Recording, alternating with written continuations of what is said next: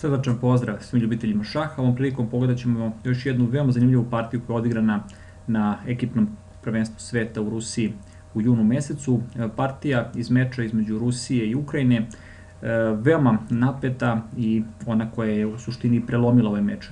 Akteri partije su Nepomnjašči i Anton Korobov, a uopšte treba reći da e, dueli tima Rusije i Ukrajine, od kako je došlo da kažemo do osamostaljivanja ovih država iz nekadašnjeg Sovjetskog saveza su uvek prožeti velikom e, presijom prema igračima oba tima, e, napetost izuzetno velika, naravno ona je indukovana dodatnom nekim poslednjim političkim događajima u toku e, nekoliko poslednjih godina, ali uvek je postojao veliki, veliki rivalitet.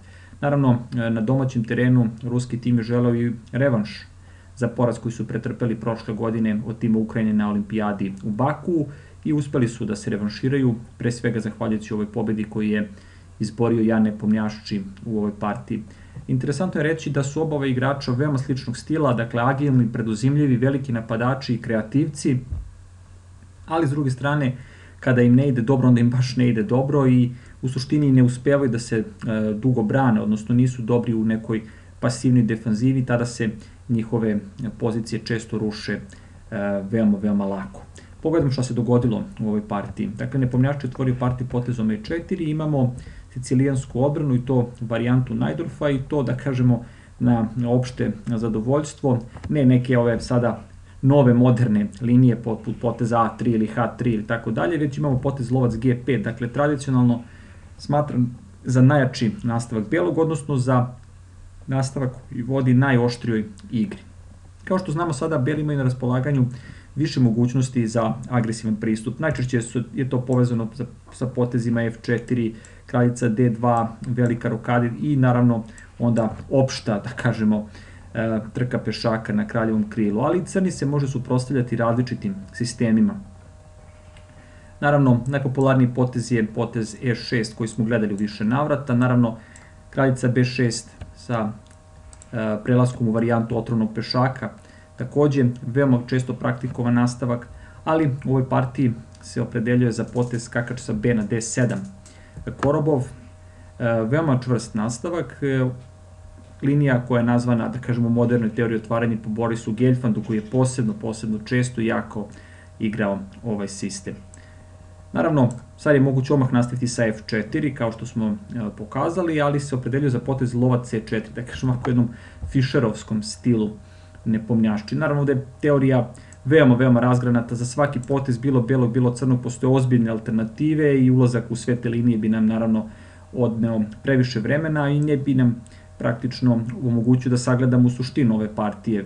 Ipak eh, ovde je poenta u sagledavanju briljantnog napada koji je Beli uspeo da izvede. Već u ovom trenutku, naravno, kao što pretpostavljate, Crni ima više validnih opcija. Kraljica B6 je svakako potez koji se često praktikuje e, i sada naravno posle rokade, male rokade belog, opet različite mogućnosti za crnog. Kraljica C5 je potez, dakle veoma agilan potez uz snažan pritisak po dijagonali na kojoj se nalazi beli kralja. Isto tako kao što pretpostavljate može se ući opet u neku odloženu varijantu otrovnog pešaka na polju B2 uz napade na kraljicu i u suštini veoma, veoma forsirane duge linije. Dakle, ovo su pozicije koje su izuzetno puno diskutovane u savremenom šahu, posebno belim figurama e, se sjajno snalazi u ovim varijantama, dakle u ovakvoj postavci sa lova C4 i crnom kraljicu na polju B6 mladi kineski igrač VI, dakle ljubimac mnogih, mnogih e, od nas u ovih poslednjih godina. Naravno, u ovoj partiji nemamo poteza kraljica A5, već imamo nema potez kraljica B6, već potez kraljica A5, znači za drugačiji koncept se u ovom trenutku opredeljuje. Korobov, naravno napadnut je lovac, mada to nije problem za belog, on će to rešiti potezom kraljica D2, ali se postavlja pitanje daljeg plana igre, jer kraljica je prilično preteći postavljena na polju A5 i postavlja se pitanje u stvari koliko je e, realistična velika rokada belog. Naravno, ukoliko bi beli zaista rokirao na daminom krilu to bi značilo zaista veliki haos na tabli do kraja partije E6. I na ovom mestu je moguća već velika rokada, to je već i viđeno u nekim partijama. Na primer, dakle, velika rokada, odmah jako B5 i sada povlačenje lovca na polje B3 najčešće e, dovodi do nešto sporije manevarske igre, ali treba reći da beli na ovom mestu može se usuditi da udari jako odmah na E6 žrtvom. Dakle, ove pozicije su veoma, veoma oštre, komplikovane. Naravno, Beli je dao figuru za dva pešaka, ali ima jaku inicijativu i Crni kralj još uvek u centru. Dakle, veoma, veoma lepe pozicije za igru, za igrače koji vole da igraju, da kažemo, napete pozicije, one pozicije u kojima je, da kažemo, kako se to obično kaže, dakle, cena poteza izuzetno, izuzetno visoka, ali e, jako je poznat kao veliki napadač, ipak malo odlaže rokadu još uvek ne pomnjašči, želi da vidi da li će konačno rokirati na kraljevom ili na, e, na kraljevom ili daminom krilu i povlači preventivno potez lovac B3, kako ne bi morao da e, brine više i o lovcu posle poteza B7, B5, a i kako bi pešak na polju B2 bio e, zaovek zaštićen na ovaj posredan način. Naravno, u ovom trenutku i crn ima više opcija. H7, H6 je svakako potez, kako bi se postavilo pitanje lovcu, ali ovo igrači igraju veoma, veoma e, dinamički obojeno i ne žele da troše e, nijedan tempo na neki potez koji nije najneophodniji. Naravno, ovaj potez ne bi kvario poziciju, ali Korobov smatra da mu je potez lovac je 7 na ovom mestu puno e, značajniji i važniji i želi da nekako dođe do rokade ako je ikako to moguće. Sada, naravno, konačno je prelomio i e, nepomnjašči, ceneći da je potrošio sve korisne poteze, odlučuje da rokira na daminom krilu i naravno pred nama je sada velika borba. Sada e, očigledno nastaje određeno kolebanje kod Korobova, on je odbacio potez H7, H6, jedan potez ranije, kao što smo videli, a tada je vjerojatno bio taj potez potrebniji nego sada. Sada je odlučio da ga povuče, a sada se čini da je bolje bilo u stvari rokirati.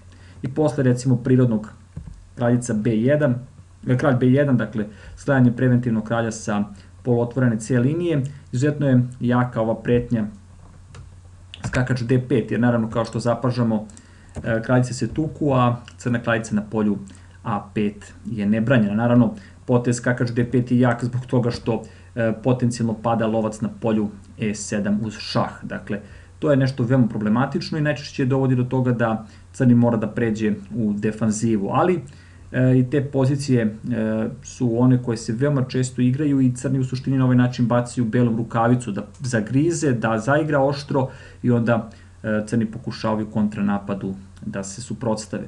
E, ovde nemamo ovakvu poziciju, dakle nemamo još uvek rokadu, već imamo potez H6. Dakle, pitanje je da li je ovaj potez sada opravdan kada nije povučen u prethodnom potezu. I sada, naravno, ne uzima nikako na e, F6 e, nepomnjašči, održava u napetost i povlači veoma e, dobar potez, dakle lova C3 čuva e, sve figure na ploči, ceneći da je crna pozicija nešto pasivnija, da je skučena kao što je to uvek u Sicilijanki i pokušava da nadlada, e, sada da kažemo pešačkim jurišem na kraljevom krilu. E, Crni sada takođe ima različite opcije. Skakač G4 je svakako potez koji je vredan razmatranja, jer ovaj lovac je e, dragocen belom i vredi ga uništiti ako i kako moguće. Recimo F4, skakač C5, još jedan jak tempo i u suštini oba bela lovca su pred uništenjem. Ukoliko kralj B1, što se čini najrazložniji, naravno skakač uzima na E3, kraljica uzima i recimo lovac D7 i čini se da je crna pozicija baš onakva kakvu žele da postignu igrači sicilijanske odbrane.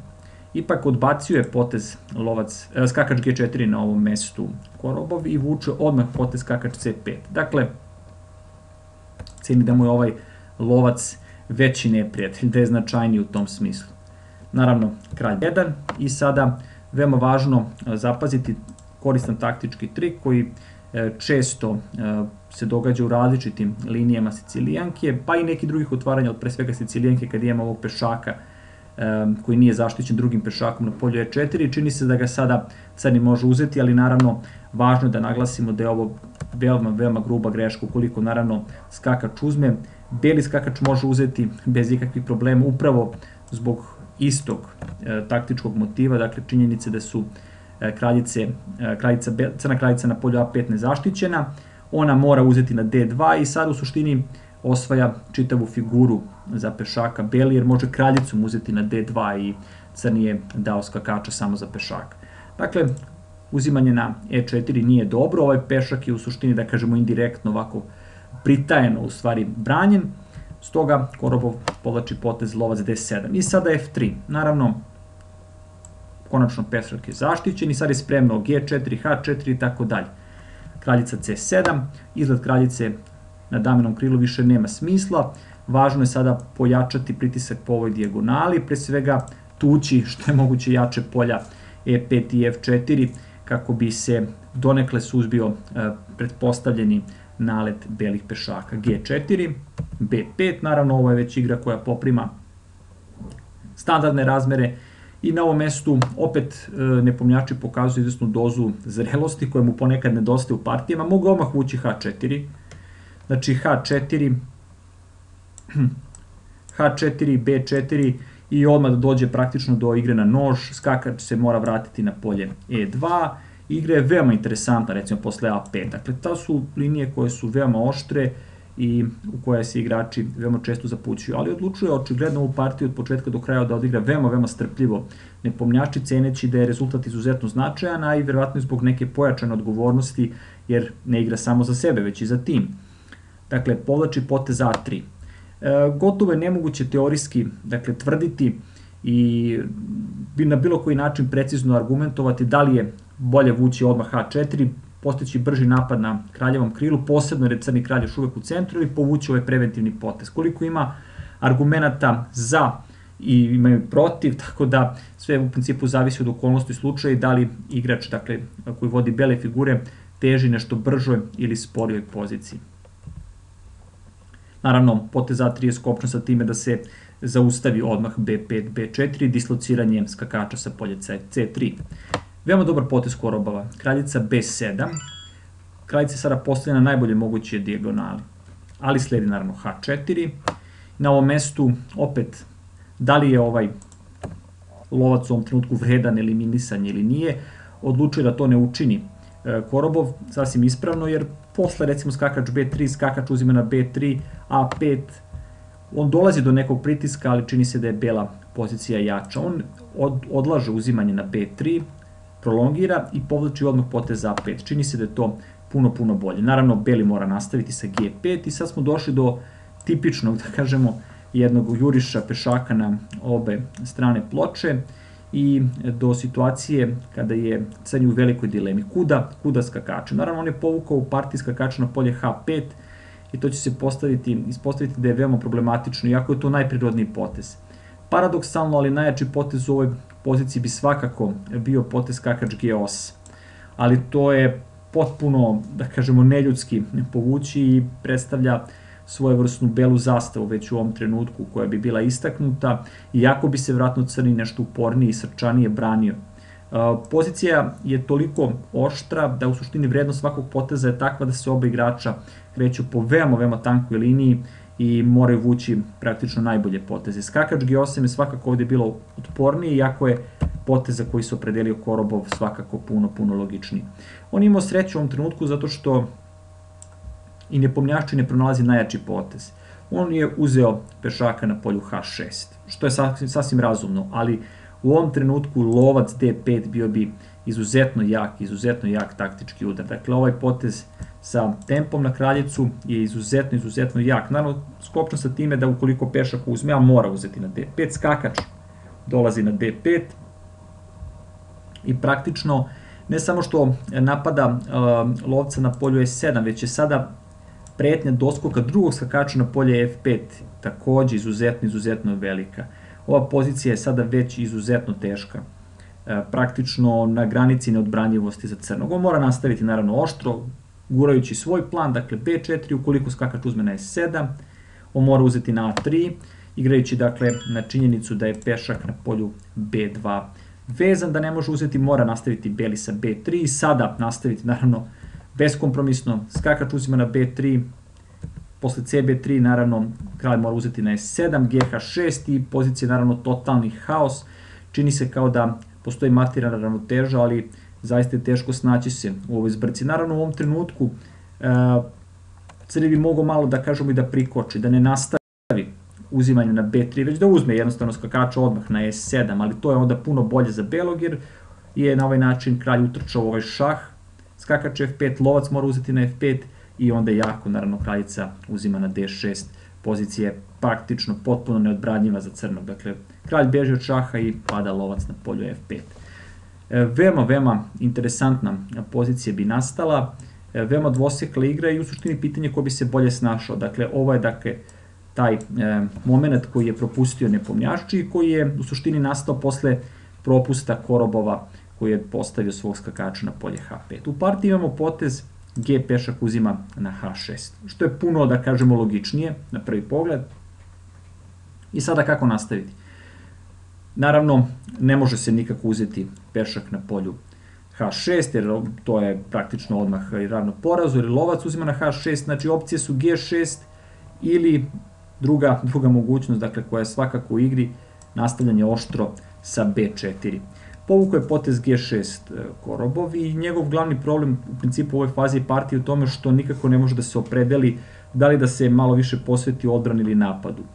E, u ovom trenutku se čini da je B4 bilo bolje. Ukoliko HG7, naravno sa pretnjom promocije na polju H8, skakač mora uzeti na G7 i sada lovac D5, ali pitanje je da li bi pronašao onaj potez e, i ne pomljašći, jer nije ga pronašao u partiji, pa pitanje je da li bi ga pronašao u ovom trenutku. Dakle, praktično ista situacija. E pešak uzima na D5, skakač uzima, pešak uzima na 3, sličan motiv vezanosti B pešaka, ali sada postoji potez kraljica C3 koji je izuzetno jak. Ukoliko top C8 čini se najlogičnijim sa pretnjom otkrivenog napada prema beloj kraljici, naravno kraljica može uzeti na A3 i beli postiže, čini se, veliku inicijativu.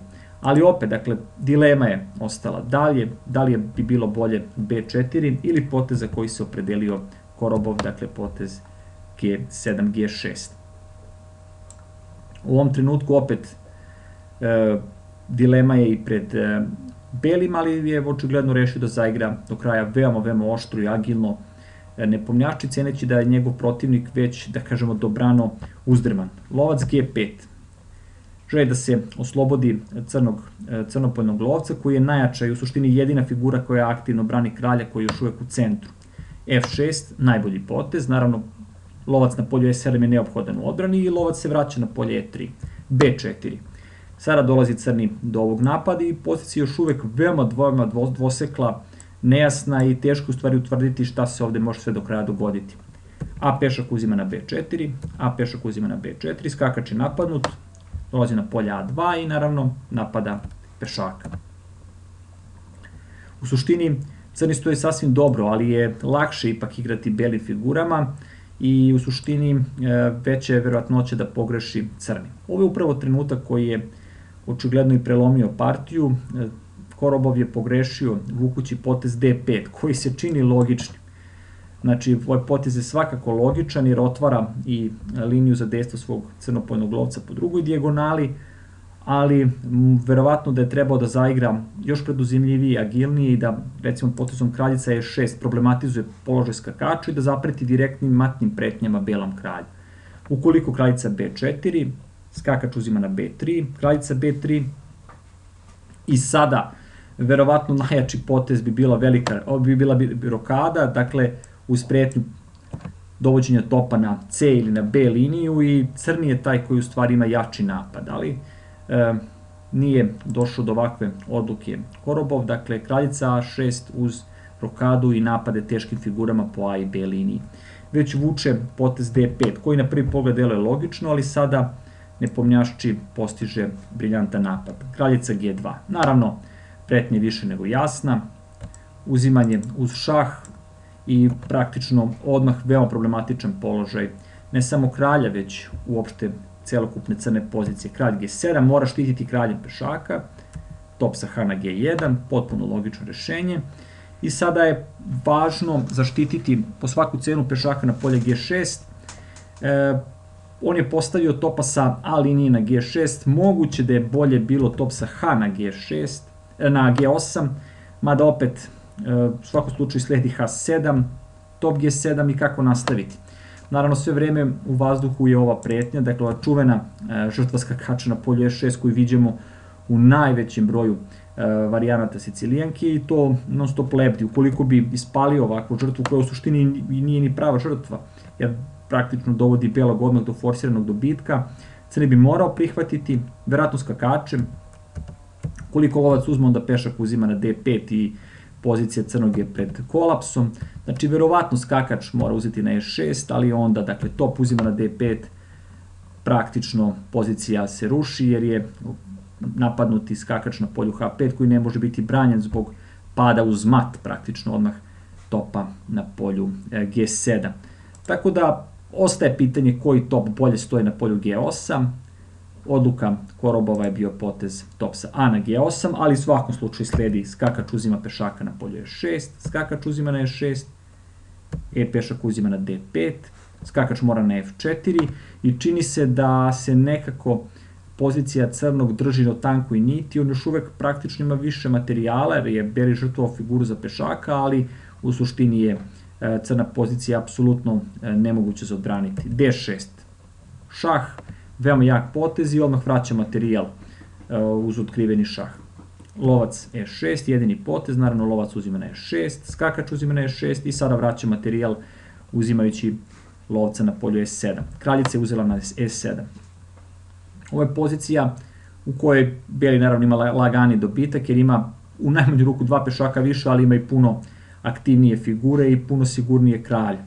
Skakač uzima na B4, sada je već materijal predominantan i ova žrtva skakača na polju B4 u suštini odličan potez jer odlači crnu kraljicu, a najgore je to što crni mora prihvatiti ovakav potez E, što je najžalosnije i dopustiti u suštini odlučujući prodor, dakle top D7 uz šah i onda se sve u crnoj poziciji ruši. Dakle, kraljica uzima na B4, šah, kralj E8, udvanje topova po D liniji, skakač F8, jedini praktično potez, ali kraljica E2, sada prete najrazličitiji otkriveni šahovi, u suštini pretnje koji je realizovan i koji veoma lako možete zapaziti, e, koju očigledno u uslovima Cajtnota nije zapazio Korobov, mada bi svakako izgubio partiju i da je pronašao bolji potez. On je povukao skakač G3, napad na belu kraljicu, ali posle poteza lova C5, šah i pada kraljica na polju B4. Izuzetna pobeda na kraju nepomnjaščeg, mada se čini da je pozicija bila veoma, veoma oštra i napeta sve do ovog trenutka, kada je crni povukao potez D5. Mi smo predložili potez kraljica A6 uz rokadu i postavljanje topova po B liniji, eliminaciju lovca na polju B3, da je to negde, da kažemo, nešto bio bolji način za crnog, ali ovo je partija koja se praktično od sedmog ili osmog poteza igrala na nož i u suštini o svakom potezu se moralo veoma, veoma pažljivo razmišljati.